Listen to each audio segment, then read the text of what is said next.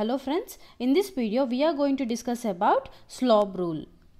So let us start our discussion with the question from the dental decks and the question is the main concept of cone shift technique is that as the vertical or horizontal angulation of the x-ray tube head changes the object buccal or closest to the tube head will move to which side of the radiograph when compared to the lingual object and the options are same or opposite.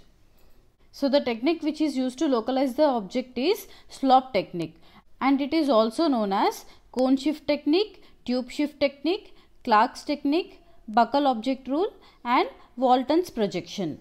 So the SLOB technique is also known as cone shift technique, tube shift technique, Clark's technique, buccal object rule and Walton's projection. So let us try to learn the principle behind the SLOB technique. So the principle of this method requires exposing two different angulated intraoral X-ray images in one area. So we need to expose two different angulated intraoral X-ray images.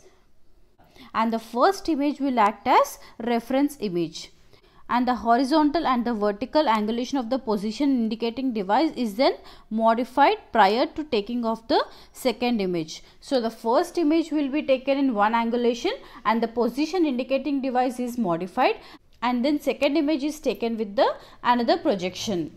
So we need to take two projections of the same area with different angulations and the two images are compared for the positional changes of the object of interest which will determine if it is located towards buccal or lingual. So let us try to understand this with the simple video. So as you can see in this image, this is the image with the normal projection with the palatal root marked. So let us now try to see the change in the position of the palatal root as there is change in angulation. So as you can see in this image, as the position indicating device will move to the mesial side, the palatal root which is marked will also move to the mesial side. So this can be illustrated in this image. As the position indicating device will move to the mesial side, the palatal root which is marked will also move to the mesial side. So in the same way as the position indicating device will move to the distal side, the palatal root which is marked will also move to the distal side. So this can be illustrated in this image. So if the position indicating device will move to the distal side, the palatal root which is marked will also move to the distal side. So in SLOB technique, if the object is moving to the same side of the position indicating device, the object is located to the lingual side. If the object is moving to the opposite direction of the position indicating device, then the object is usually located buccally. So this is how you can localize the object if it is located lingually or buccally with the help of SLOB technique. So in the video also we had seen the palatal root which was marked was moving in the same direction as the position indicating device. So the root is located lingually as it is moving in the same direction as position indicating device. So let us now see where and all we can apply the SLOB technique. So it is mainly used in separation and identification of the superimposed canals and it can also be used in movement and identification of the superimposed structures.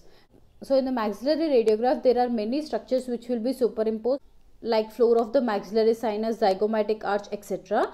So SLOB technique mainly helps in movement and identification of the superimposed structures. And it is also used in the determination of the exact working length in the endodontic procedures. And it can also be used in identification of the undiscovered canal. So in some cases there can be 4 or 5 canals which can be present. So it can be used in identification of the undiscovered canals. And it is also used in determination of the facial lingual location. So especially in impacted canines, SLOB technique can be used in localization of the impacted canine. And it can also be used in the determination of the curvature of the canals. And finally the most important use is it is mostly used in the location of the foreign objects.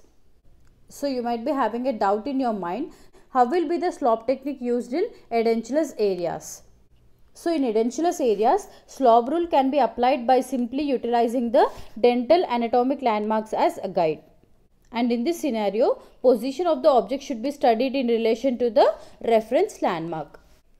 So after the discussion, we can come to a conclusion that the object which is located buccally will move to opposite direction and the object which is located lingually will move to same direction